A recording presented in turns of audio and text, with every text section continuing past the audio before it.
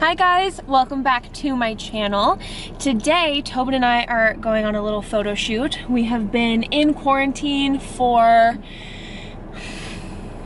Too long. Too I don't long. even know how long. who knows. Um, we, we are heading out. Um, I am going to show you guys a tutorial on how I did this hair and makeup look right now. All right guys, we are in my bathroom. Messy bun and robe and all. I posted a photo on Instagram and I'm gonna do a quick tutorial on this really glowy, bronzy, natural, flawless skin look. Um, right now, I just have this NARS Pure Radiant Tinted Moisturizer in Groenland. I don't even know what that word is. And I just got a little angle foundation brush and I'm just packing that in and putting a nice thin layer of that on. So something that I did that I realized made a huge difference in my makeup application was dermaplaning. So I dermaplaned not last night, but the night before I posted that photo. It made the biggest difference in how the makeup applied. So if you guys want tutorial on how I do that, I do it probably about once a week. These are the dermaplaning blades I use from Dermaplus. And they just fold out like so. And then it just fluffs off everything and it's amazing. Okay. The Too Faced completely worn off with the Too Faced Born This Way concealer. I'm just gonna do one, two, one, two, and then I'm gonna go little itty bitty dots for a little highlight through here. And a little bit around the mouth.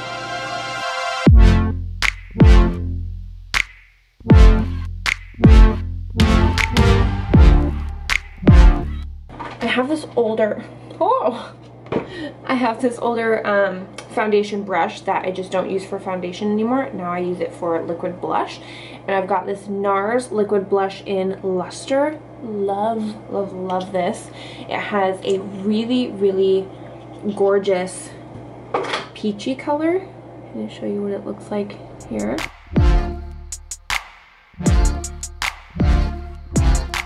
Cute. Big fluffy brush. This is the Real Technique blush brush. It's a massive blush brush. So I actually use it for bronzer. So I got the Hourglass Luminizing Bronze Light. You guys know I love this stuff. Um, it just has such a glowy quality. I'm going to go under the jawline. And then down, so you see this line right there? I want to draw bronzer in through there because it's going to create a really elongating effect.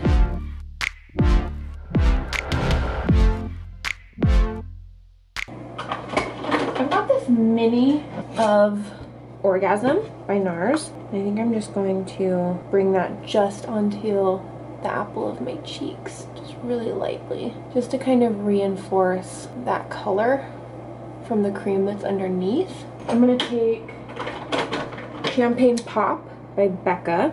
We're gonna highlight a very glowy, dewy vibe today. Hmm, I love a dewy vibe. And then I'm gonna dip my finger.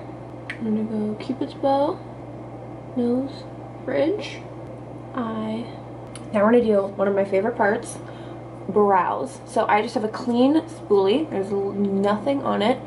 I'm gonna brush through my brows to get any um, excess product out. Um, tinted moisturizer, concealer, anything that might have gotten through there because we're gonna do soap brows. Yes, you heard that right. So I've got Soap Brows by Kitten Hooks. Um, I actually worked with the founder of Kitten Hooks on um, another shoot and she is lovely. So I had to use or had to get one of her products. So I just put a little bit of, this is written in German because Tobin brought this back for me from Austria, but just spray anything. You can do Fix Plus by MAC. You can do any sort of like essence or water that you have just to kind of get everything moving. It just thins out the product a little bit. I'm going to scrape my spoolie in there and then I'm going to go back. I have found through trial and error that doing them back this way kind of deposits all of the soap. You guys couldn't even see that, could you? Deposits all of the soap into the brow. And then from there, we're gonna brush up. And then as you get towards the edge, we're gonna brush out. And then from there, when you kind of get that shape that you like, we're gonna press. Just very lightly. Okay, so if you hadn't cleaned and used a clean spoolie to get any product like leftover foundation or concealer out of your brows, you would get, like you would see product build up in the soap. It's not a good look. So, we got a soap brow. Now I'm gonna do the other side. For my hair, I'm just doing these really funky, like irregular kind of curls. And I'm doing them more, more of like a wave because I just want to add texture to my hair.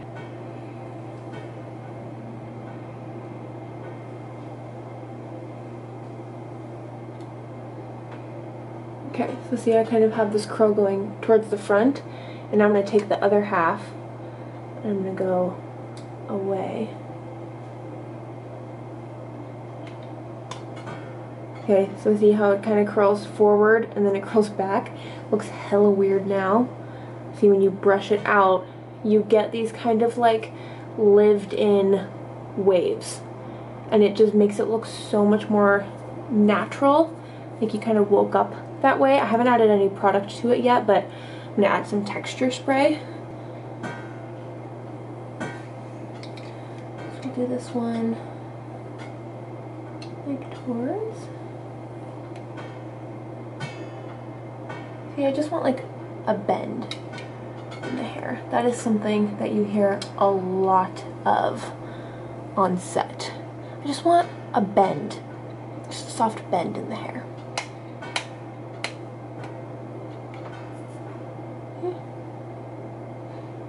so like soft and pretty.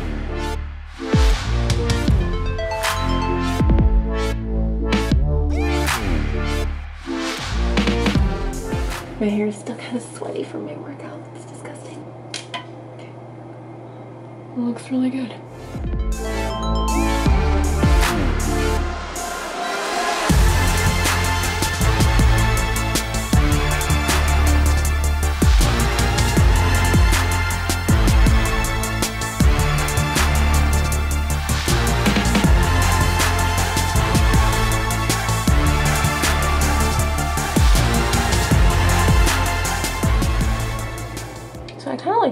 Up to let it like cool in the shape that I want it to be in, right? So does that make sense? So watch, I'm gonna do this. Hair is still hot, so I'm gonna lift it and kind of like bend it in the way that I want so that once it's cooled, kind of is encouraged to be in that shape. Just like that.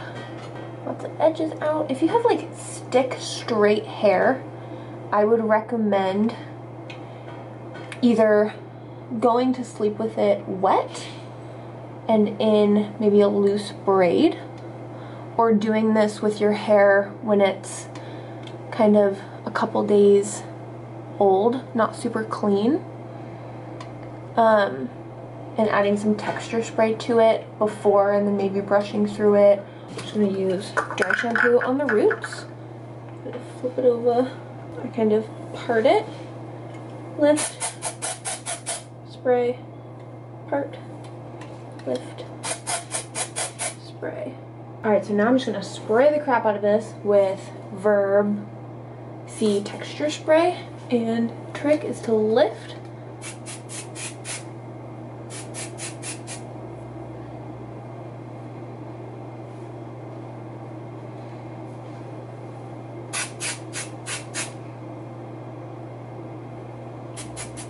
I always need a little texture spray up at the front because my hair will just fall into my face. Do that.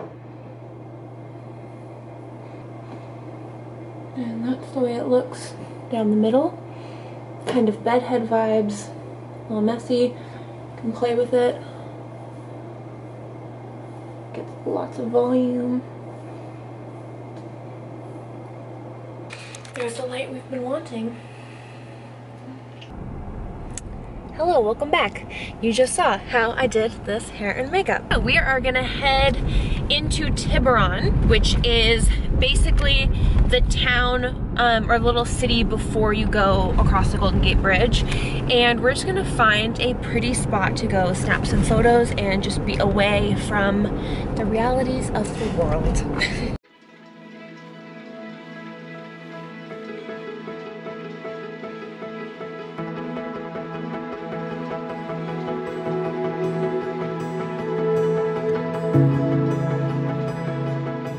so for dinner, I had chicken breast that I had already cooked. And so I just heated that up in a pan with some of this fermented chili paste and loosened it up with some soy sauce, rice wine vinegar, um, and a little bit of sesame oil. So that's what the chicken is coated in. And then this is a mixture of brown rice and quinoa that I zhuzhed up with a little bit of miso and chicken stock. And then we've got cabbage, kale, and shredded carrot. Um, that was just sauteed in avocado oil on really high heat. So that's dinner. We are really running low on what we have in the fridge. So, wow, what's happening here?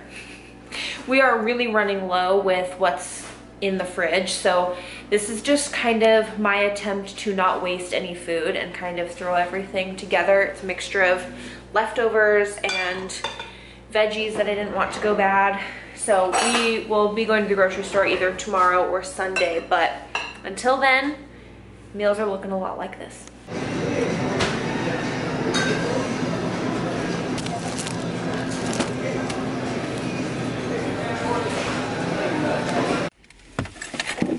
We probably have it, we're just not symptomatic. because I don't know how you can't not have it. I know. That's kind of what it feels you like, huh? Mhm. Oh, I went for it. Good, before you touch me. you need to sanitize. Sanitize before you touch me. Um, dark chocolate, caramel peanut butter, nougat bars. Unreal. Are they? We'll see. We're gonna find out. It's about to bounce bounce. All right. Bread. We go through this like crazy. Goes over there. Oh, you're talking to someone. Yeah. yes, we do. Correct. Tell me something I don't know.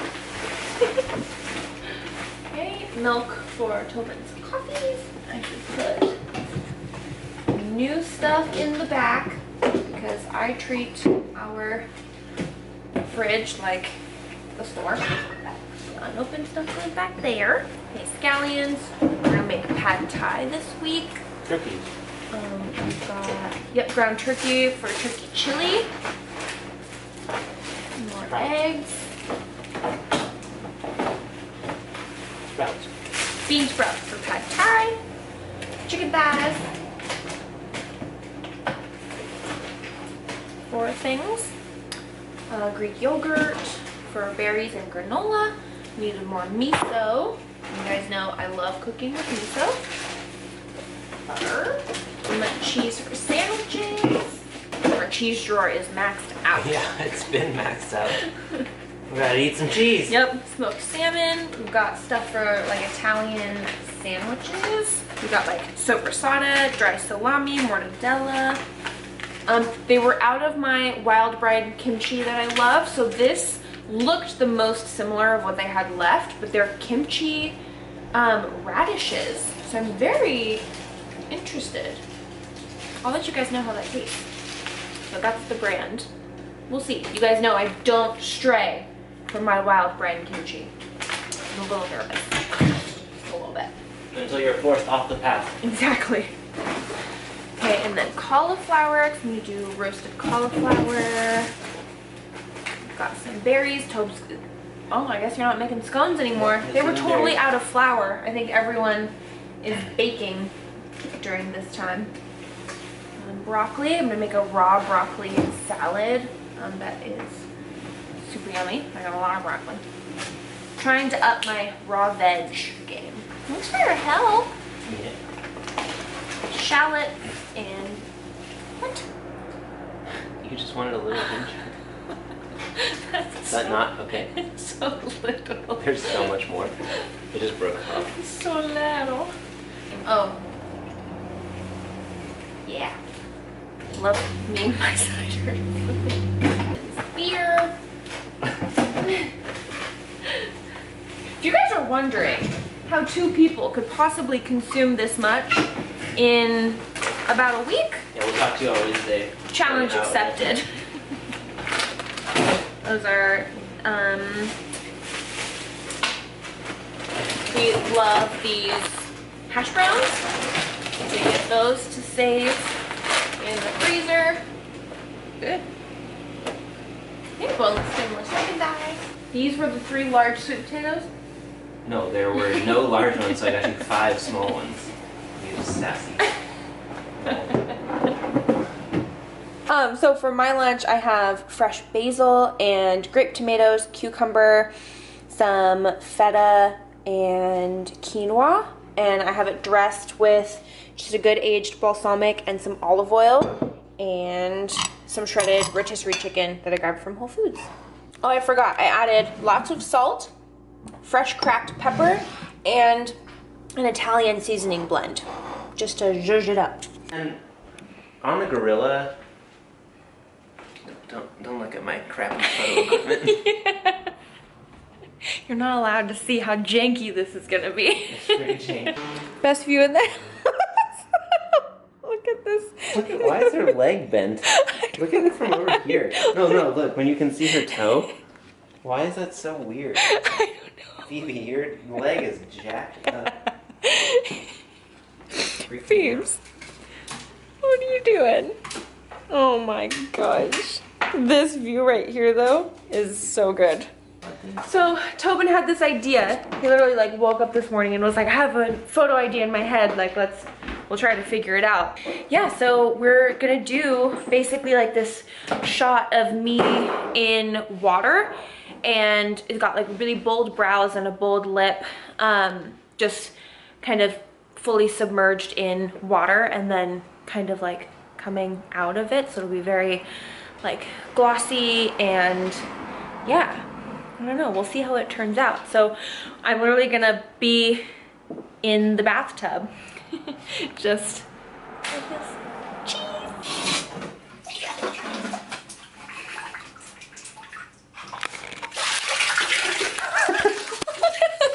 Art. Art. so artsy fartsy. Get creative, people. You Yeah. you can you can create something with in a bathroom that's um three feet wide. Yep, there we go. That's our set. that's our set. And our sun is our With our light. is our light. Yeah, I'm using some bar soap to cleanse. We're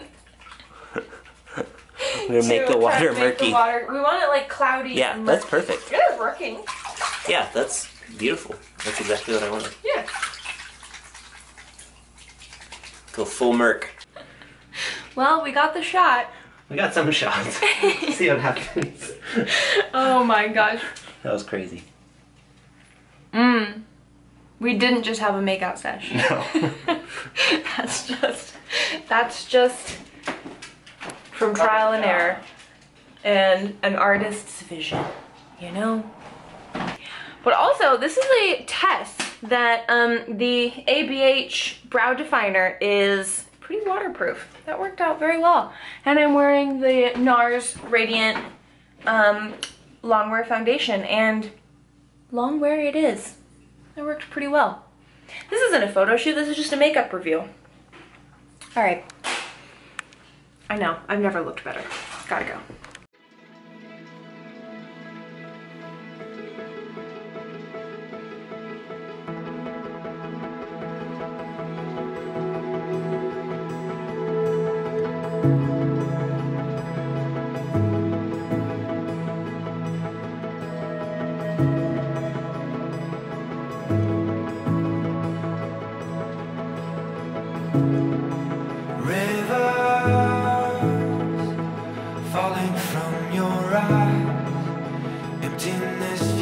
You cannot hide.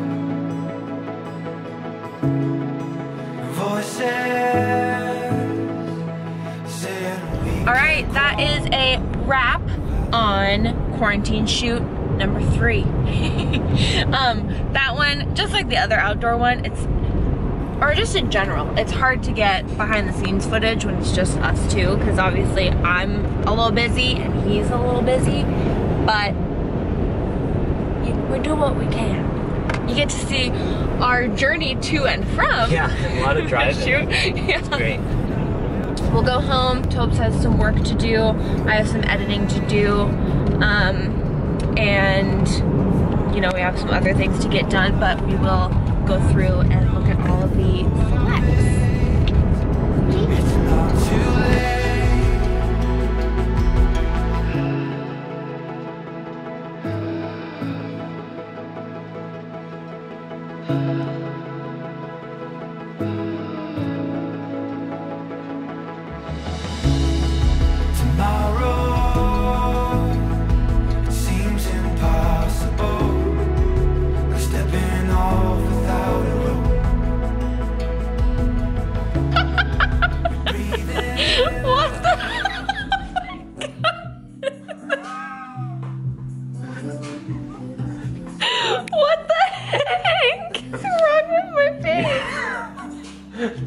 Mini stroke in the middle of your jump. Oh my gosh. Whoa. Ooh, I like those. close and I will change and we will make What are we cooking up over here? This is our quarantine daily muscles. It is Daily divided. muscles. Our daily muscles. Give us this day our daily muscles. Pull-ups, push-ups, cores. Cores can be any kind of core. Okay. It could be a V up. It could be a core, uh, crunch. It could be a plank. All right, we are cooking dinner. We've got quarantine chili getting ready on the stove. Um, I'm just browning some ground turkey. I've got some red and yellow onion and beans are rinsed in the sink. And um, I will post the recipe in the description box. It is not my own. It is by Bon Appetit and it's delicious. Um, continuing from this morning, daily muscles have been um we have tallied up so we did a like uh, we did a yoga flow earlier so that had like some chaturangas and we finished with some core and then i have to do my second set of six pull-ups You got it. i can do it ready they're not gonna look very good but it's okay Six, five, four, three, three. Come on. There's a cider waiting for you. One more. Come on. give me all the energy i needed Come on. Yeah! You've done it. go me Victory. Daily muscles. check